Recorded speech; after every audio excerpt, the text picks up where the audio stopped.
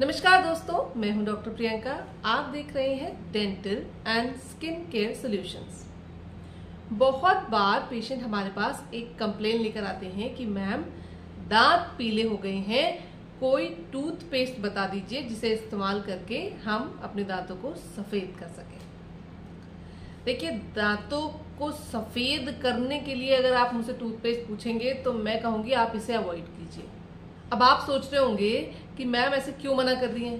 क्योंकि मार्केट में तो इतने सारे टूथपेस्ट ऑलरेडी अवेलेबल हैं जो दांतों को सफ़ेद करते हैं तो क्या वो सब बेकार हैं?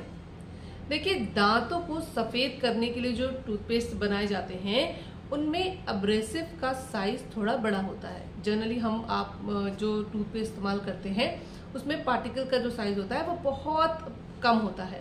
और जो दांत सफ़ेद करने के लिए टूथपेस्ट बनाए जाते हैं, उनमें पार्टिकल का साइज़ बड़ा होता है। अब वो करते कैसे काम है? आपने मानो टूथपेस्ट से ब्रश किया तो टूथपेस्ट में ऐसा कुछ नहीं है जिससे आपके दांत सफ़ेद हो रहे हैं। बेसिकली टूथपेस्ट में जो पार्टिकल का साइज़ है, वो आपके दांतों पर एक अब्रेसिव का काम करता है। ऊपर की लेयर को घिस दे रहा है, जो अब आपको नीचे की लेयर ज़्यादा सफ़ेद दिखाई पड़ रही है। तो अब अगर आप रेगुलरली हर दिन आप ये वाला पेस्ट इस्तेमाल करते रहे तो over a long period of time आप अपने दांतों को घिस देंगे। दांत सफ़ेद होने की बजाय लंबे समय के बाद और पीले दिखाई देंगे और आपको सेंसिटिव भी हो जाएँगे दांत आपके। उसमें भी ठंडा लगने लग जाएगा, हवा लगने लग जाएगी। तो ये लंबे समय तक आप इस्तेमाल करें या रेगुलरली इस्तेमाल करें तो इसके बहुत नुकसान आपको देखने को मिलेंगे। ये बिल्कुल वैसा ही है, जैसा आपको कोई कहे कि अपने दांतों पर नींबू रगड़ लो।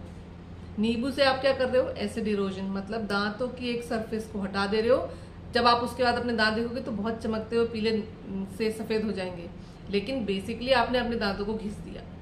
घिसने से नुकसान क्या किया आपने? अपने दांत की सबसे हार्ड परत इनेमल जो दांत को ठंडा गर्म से बचाती है, दांत को एक्सपोज होने से बचाती है, उसको आप घिस रहे हो। तो बेसिकली व्हाइटनिंग के लिए जो टूथपेस्ट है, उसको इस्तेमाल नहीं करना है। या अगर करना चाहते हो तो once in a week once in a while आप इस्तेमाल कर सकते हो अदरवाइज़ मैं तो रिकमेंड नहीं करती। तो आप सफ़ेद रखने के लिए करें क्या? दांत अगर पीले लग रहे हैं, सबसे पहले उसका कारण जानिए कि दांत पीले क्यों हो रहे हैं। ऐसा नहीं होता है कि यूँ ही दांत पीले हो जाते हैं, हर चीज़ का कारण होता है, उसका कारण जानिए। इसके ऊपर मैंने डिटेल वीडियो बनाई है कि दांत पीले क्यों होते हैं, इसके क्या क्या कारण हो सकते हैं। तो पहले वो कारण जानिए, उसके बाद उसका सोल्यूशन होगा।